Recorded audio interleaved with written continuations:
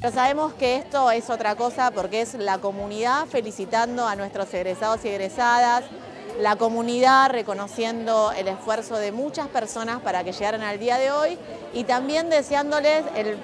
los mejores éxitos tanto para su trayectoria profesional, individual, como para todo lo que puedan aportar para la comunidad. Todo lo que hacemos de alguna manera, gran parte de lo que hacemos eh, tiene que ver con este momento. Y también pedirles que sigan estudiando, que acá estamos, que si quieren seguir estudiando en nuestra universidad van a ser bienvenidos y bienvenidas, y si no en otra universidad, porque la idea es que puedan formarse para aportar a la construcción de nuestra patria.